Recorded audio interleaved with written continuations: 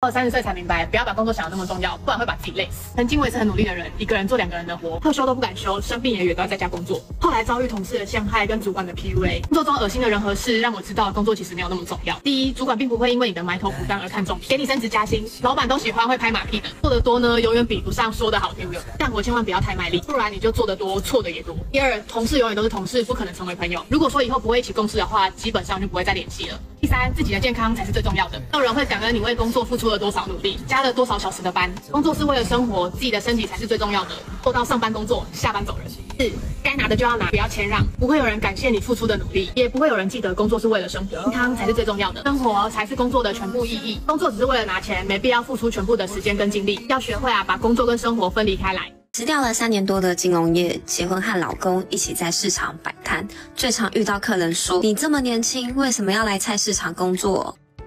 还有人说，既然都要在菜市场工作了，何必读到大学呢？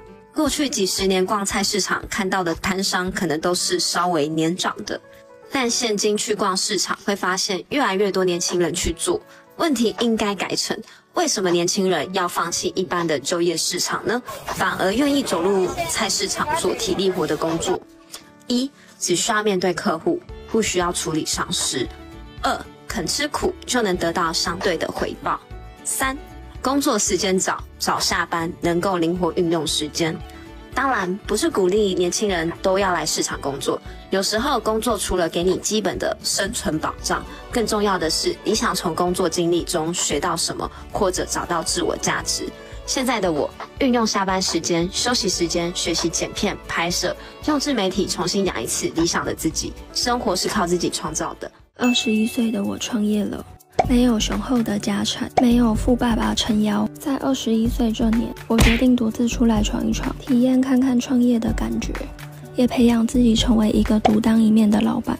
在创业的过程中，自己找厂商设计 logo，原本 logo 自己画这样，嗯，与厂商洽谈设计餐车，还有靠以前的打工经验设计行销活动。